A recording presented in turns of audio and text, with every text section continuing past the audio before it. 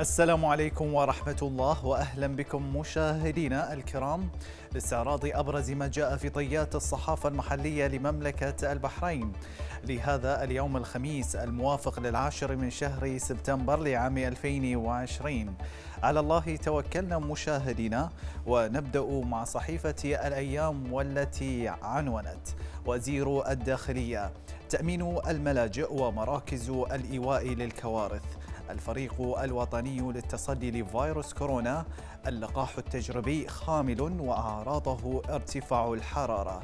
ومع صحيفة أخبار الخليج والتي استهلت في أولى صفحاتها لهذا الصباح 83 بحرينيا يتنافسون لنيل جائزة خليفة للطبيب البحريني. الفريق الطبي تجنبوا التجمعات خلال الأسبوعين المقبلين. ومن الصفحة الأولى لصحيفة الوطن نقرأ تمديد لجان التحقيق البرلمانية فوق أربعة أشهر غير دستورية. مدارس خاصة إلغاء حضور الطلبة بعد زيادة حالات فيروس كورونا. أما صحيفة البلاد فقد عنونت تطوير ست بوابات أمنية بمنطقة البر. الجامعة العربية تدين التدخلات الإيرانية في مملكة البحرين.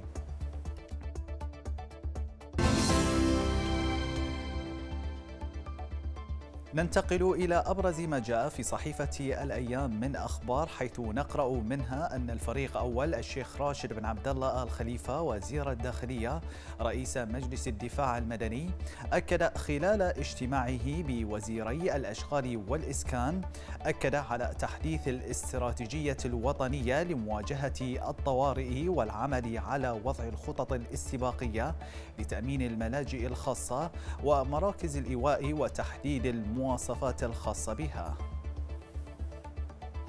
نشرت صحيفة الأيام أن المقدم طبيب مناف القحطاني استشاري الأمراض المعدية بالمستشفى العسكري جدد الدعوة للجميع إلى التطوع والمشاركة في التجارب السريرية لإيجاد لقاح آمن وفعال مؤكدا خمول هذا اللقاح ومبينا في الوقت نفسه أن الأعراض الجانبية له هي ارتفاع طفيف في درجات الحرارة. نطالع من صحيفة الأيام أن أكاديمية الخليج للطيران أعلنت عن إطلاق علامة تجارية فرعية جديدة وهي مسارات من خلال التركيز على تقديم برامج أكاديمية وتدريبية في مجالات وقطاعات غير المتخصصة في قطاع الطيران.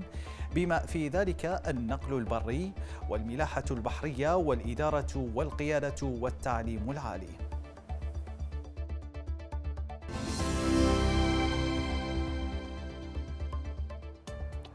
من صحيفة الوطن نطلع أن استشارية الأمراض المعدية بمجمع السلمانية الطبي الدكتورة جميلة السلمان أكدت أن المسافرين والقادمين من الخارج يشكلون نسبة قليلة من المصابين بفيروس كورونا خلال الآونة الأخيرة. وقالت فيما يختص برفع الطاقة الاستيعابية للعلاج أن أحد عشر ألفا أو اثني عشر ألف فحص لفيروس كورونا يوميا ليست الطاقة القصوى للفحوصات. لفتت صحيفة الوطن أن أكاديمية الذكاء الاصطناعي التابعة لكلية البحرين التقنية بوليتكنيك البحرين أطلقت الدفعة الأولى من طلبتها حيث تم اختيار 38 مشاركا من طلبة المدارس والجامعات والباحثين عن العمل والمهنيين وسيتم استخدام منصة التعليم كخدمة لتقديم برنامج تخصصي متكامل يقوم على تعزيز قدرات الابتكار والإبداع الإبداعي في مجال الذكاء الاصطناعي. خط الكاتب فيصل الشيخ مقالا في صحيفة الوطن والذي أتى بعنوان وها هي الموجة الثانية للأسف فإلى المقال. كنا في البدايات نتحدث عن أرقام تضع البحرين ضمن الدول قليلة الإصابة والانتشار بشأن المرض وارجعنا ذلك لوعي المجتمع والتجاوب الإيجابي مع جهود الحكومة والأجهزة المعنية ومع التوجيهات إلا أن ما يحصل لا يمثل النتيجة المرجوة من عمل فريق البحرين وهو عمل مستمر وجاد ودؤوب وفيه مخاطرة لعناصره بالأخص الكوادر الطبية. نعم البحرين سعت لاستعادة الحياة للناس من ناحية فتح بعض المرافق وإعادة الدراسة والعودة للأعمال لكن ما يحصل اليوم من انفلات غير مسؤول ومن سلوكيات غير محسوبة من البعض. أمر سيضر بالبقية الملتزمة ويضاعف العبء على الفرق العاملة. وبخط قلم الأعلام غازي الغريري نقرأ مقالا في صحيفة الوطن والذي جاء بعنوان من أجل الإنسانية. فإلى أبرز محاور هذا المقال. في صورة اتسمت بالإنسانية العالمية ممزوجة بالوطنية البحرينية الأصيلة لاحظت وخلال جولة إعلامية قمت بها في مركز أرض المعارض بالمنامة مدى الحرص والتفاني سواء من المواطنين أو المقيمين المتطوعين لأخذ اللقاح المحتمل لفيروس كورونا كوفيد 19 سطر الكادر الطبي نبض هذا الوطن أروع أمثلة العطاء كما هم شعب البحرين من خلال تطوعهم للمشاركة في المرحلة الثالثة من التجارب السريرية لاحظنا أيضا تطوع عدد من المسؤولين بالدولة وهم يتطوعون في تشجيع لباقي المواطنين والمقيمين. كل ذلك يندرج تحت شعار التطوع من أجل الإنسانية.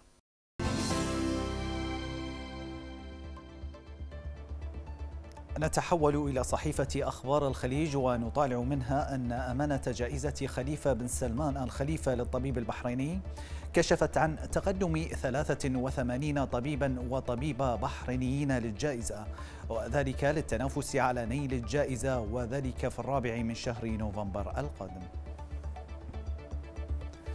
لفتت صحيفة أخبار الخليج أن الرئيس التنفيذي لهيئة تنظيم سوق العمل أسامة العبسي أكد أن الهيئة ملتزمة بعدم السماح للعمالة الهاربة بتصحيح أوضاعها في الظروف الاعتيادية سواء بالحصول على تصريح العمل المرن أو التحويل إلى صاحب عمل جديد وبالتالي سيكون الخيار أمامه هو الترحيل إلى بلده فقط مع المنع من الدخول إلى المملكة مجدداً. بينت صحيفة أخبار الخليج أن الفريق الوطني للتصدي لفيروس كورونا دعا إلى الابتعاد عن أي تجمعات خلال الأسبوعين القادمين وذلك بعد رصد زيادة مضطردة في إصابات فيروس كورونا.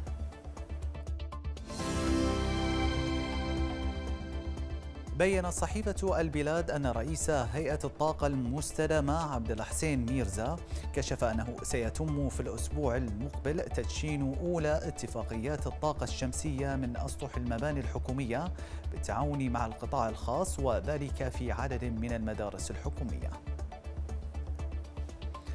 عام دراسي من غير قرطاسية. عنوان مقال لصحيفة البلاد للكاتب عبد علي الغسرة. فإلى المقال. في كل عام ومع اقتراب العام الدراسي تستعد المكتبات والمحلات التجارية بعرض المستلزمات المدرسية من حقائب ودفاتر وأقلام وغيرها. في هذا العام اختلف الوضع من ناحية الشراء حيث سيكون التدريس جزءا منه في المدارس لمن يرغب من الطلبة وأولياء أمورهم والجزء الآخر في البيت. تقدم المحلات التجارية والمكتبات في بداية هذا الموسم عروضا ترويجية للمستلزمات المدرسية فهو موسم تزداد فيه المبيعات عن غيره من الأوقات الأخرى. إلا أن أزمة الكوفيد ستقلل من هذه المبيعات. هناك أيضا انكماش في طلب رسم وتصوير الأنشطة المدرسية طيلة العام الدراسي والذي يمثل أحد الموارد المالية للمكتبات. إلا أن التعليم عن بعد سيقلل هذه الأنشطة خاصة لأولئك الطلبة الذين سيتلقون تعليمهم في البيت عبر الإنترنت. هذا ونشر صحيفة البلاد مقالا للكاتب زهير توفيقي حمل عنوان لو عرف السبب فإلى أبرز ما جاء فيه. قال لو عرف السبب بطل العجب لا أدري كيف ومن أين أبدأ مقالي. أبدأ بضرورة الحزم في التصدي لهذا الوباء سيء الصيت فمع كل احترامي للجميع سواء كانوا مواطنين أو وافدين فإن جهل البعض أدى إلى زيادة في عدد الإصابات مؤخرا. أنا الآن موجود في الخارج في إحدى الدول لكنني أجد أن الأمور هنا شبه طبيعية من حيث الحركة التجارية كالفنادق والمقاهي والمطاعم والمجمعات التجارية وغيرها. لكن في الوقت نفسه وجدت التزاما شديدا من قبل الجميع في تطبيق الإجراءات الاحترازية. تصوروا أن غرامة عدم لبس الكمام تعادل خمسين دينارا بحرينيا لأنه كلما كانت الغرامة زهيدة ازداد عدد المخالفين والعكس صحيح. من وجهة نظري وفي هذه الظروف الاستثنائية علينا أن نفرض قوانين صارمة لنتغلب على هذا الوباء لأننا أمام تحد كبير وهناك من لا يعي ذلك. مع الأسف الشديد. وإلى فن الكاريكاتير.